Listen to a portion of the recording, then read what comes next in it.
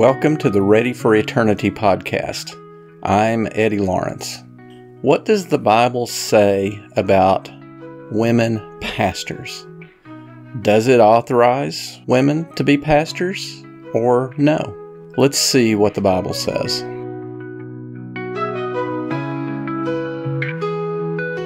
Is the practice of appointing women pastors biblical? That's the question. Paul said, Here is a trustworthy saying Whoever aspires to be an overseer desires a noble task. 1 Timothy 3 1. There are many who desire the job, but desiring the task is not the only requirement. Paul gives a list of traits in 1 Timothy 3, verses 1 through 7, and Titus 1, verses 5 through 9, that those who desire the job must possess. The Bible authorizes women to do much more in the church than church leaders have allowed them to do. Women have traditionally been prevented from teaching men because of a misunderstanding of 1 Corinthians chapter 14 verses 34 and 35 which we analyzed in podcast episode 15 and also 1 Timothy 2 verses 11 through 14 which we talked about in episodes 13 and 14. However, as we concluded in those three podcasts, these passages do not mean what some people think they mean.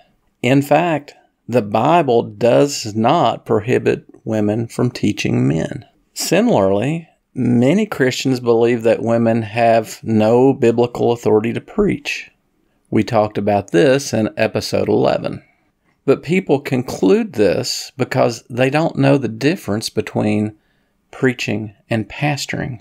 As a matter of fact, the Bible not only allows Christian women to preach, it obligates them to do so. If God permits women to teach and preach, then surely He allows them to be a pastor, right? No, this is not right. The Bible is very clear that women may not be pastors.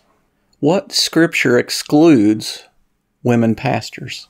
Can women develop and possess the traits listed in 1 Timothy 3 and Titus chapter 1? Almost. Women are capable of achieving every quality listed in those passages except for one. Therefore, an overseer must be above reproach, the husband of one wife, sober minded, self controlled, respectable, hospitable, able to teach. 1 Timothy 3 2. If anyone is above reproach, the husband of one wife, and his children are believers and not open to the charge of debauchery or insubordination. Titus 1 6. In spite of what our modern, morally bankrupt society would have us believe, it is impossible for a woman to be the husband of one wife. This requirement, and this requirement alone, is the reason that women cannot legitimately serve as a pastor. The Greek phrase in our English Bibles translates as the husband of one wife, literally reads a one woman man. There are four interpretations of what it means to be a one woman man. Number one, that means that a man must be married. Number two, it means that he may not be in a polygamous marriage where he has multiple wives. Number three, he must be faithful to his wife. Or interpretation number four, he cannot be remarried or divorced. Now, certainly the first three are true to the meaning of a one woman man. The fourth is debatable, and it's a topic for another podcast episode. But regarding number one, must be married, 1 Timothy 3, verses 4 and 5 clearly states that a potential overseer, which is another name for a pastor, must have demonstrated that he has the skills and wisdom necessary to manage the church. He demonstrates this ability through the proper management of his family. He cannot do this unless he has a family. Therefore, being married, monogamous, and faithful are all components of being a one woman man. Being the husband of one wife is a simple and explicitly stated requirement for being an overseer. We cannot evade it or sidestep it while dealing honestly with the text. The wording is there, it means exactly what it says, and we can't ignore it. So, why has God decreed that women pastors are not an option? Well, most people turn to 1 Corinthians 14, 34, and 35, and 1 Timothy 2, verses 11 through 14 for an answer to that question. However, when these two passages are properly interpreted, we find that they don't really shed any light on why God permits only men to be pastors. We could speculate endlessly about why God has authorized only married men to be pastors, but in the end, all of our guesses would only be speculation. God sometimes expects us to trust Him without giving us an explanation. Trust is a major component of faith.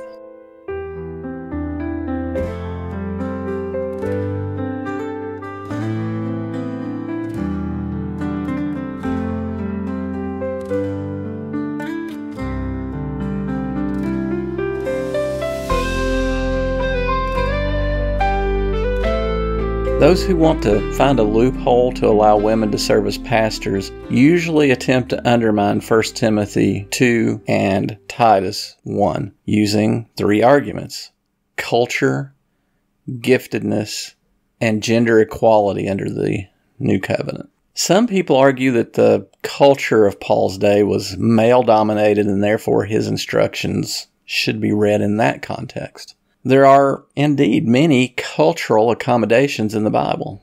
For example, at one time it was a cultural expectation for married women to keep their heads covered. In 1 Corinthians 11, Paul commanded that women shouldn't violate the expectations of the culture by uncovering their hair. Clinton Arnold, in the Zondervan Illustrated Bible Backgrounds commentary, said this Presumably, women who felt able to uncover their heads were considered immodest, unchaste, and therefore, by definition, unRoman. Failing to cover a woman's head was dishonoring to her husband. The head covering was clearly a component of ancient Roman and Greek culture. The point was that wives must not bring reproach upon themselves and their husbands. This honor and respect is still required today, we just don't expect it to be shown by wearing a head covering. Likewise, the New Testament tells us to greet one another with a holy kiss in several New Testament passages. Again, Clinton Arnold in the Zondervan commentary said the kiss was a common form of greeting in the ancient world generally, and in Judaism in particular. We greet one another with handshakes today. The point is that Christians are to greet one another warmly culture dictates how we perform that greeting. So the argument goes that since the world's culture in Paul's day was patriarchal and modern Western culture is not, we must now allow women to serve as pastors. To make this claim is to assume that God based his instruction in 1 Timothy 2 and Titus 1 upon ancient culture. It's easy to see how the head covering kisses as a form of greeting, and other similar customs were based on culture. Was there a similar cultural accommodation resulting in the exclusion of women pastors? Based on the latitude God granted to Christian women in the early church, it seems that the prohibition was not culturally motivated. The fact that God permitted women to participate in church affairs in the first century AD was countercultural even revolutionary. For his day, Paul was very permissive by including women in church affairs. Todd Still and Bruce Longenecker, in their book Thinking Through Paul, said Paul has no qualms about women praying and prophesying in gatherings of male and female followers of Jesus Christ. In fact, we know of at least one woman who was a deacon in the church. I commend to you our sister Phoebe, a deacon of the church in Cenchreae, Romans 16:1, New International Version. In the churches which Paul worked with, he encouraged female workers. We should note Paul's references to a number of women who held leadership roles in his churches. In Romans 16, he commends nine women. He encourages two female co workers, Euodia and Syntyche, Philippians 4 2, to agree with each other. Lydia established a house church in her home, Acts 16 verses 15 and 40. Paul's good friend Priscilla taught Apollos, Acts 18:26. Paul's churches then had men and women leading, teaching, and making decisions in the church. Burge and Cohick, The New Testament in Antiquity. Paul wasn't afraid to buck tradition. If he, and by extension the Holy Spirit, had intended for the church to have women pastors, he would not have been timid about saying so. Paul was plain and direct about exclusively male pastors. He was not simply accommodating the culture by excluding women from serving as pastors. What about giftedness? In the letter of 1 Corinthians, Paul discusses spiritual gifts which the Holy Spirit had bestowed upon each person in the church. Teaching is one of the gifts mentioned. And God has appointed in the church first apostles, second prophets, third teachers, then miracles, then gifts of healing, helping, administrating, and various kinds of tongues. 1 Corinthians 12 28. What about women who God gifted to teach? Those who argue in favor of women pastors cry out that we dare not suppress women's God given gifts. Therefore, we must allow women to shepherd God's people. It is true that the church must allow women to exercise their God given gifts and talents. It is also true that being gifted to teach is a quality that overseers must possess. However, a woman does not have to be a pastor in order to teach. Those who understand 1 Corinthians 14 verses 34 and 35 and 1 Timothy 2 verses 11 through 14 to say that women cannot teach men have erred and their interpretation of these two passages. Due to tradition and questionable translations, Paul's teaching in these two passages is more nuanced than it first appears. These passages simply aren't teaching what is traditionally ascribed to them. I encourage you to go back and listen to the prior three podcast episodes to catch up on that. Simply put, while God has excluded women from serving as pastors, He has not forbidden them to teach.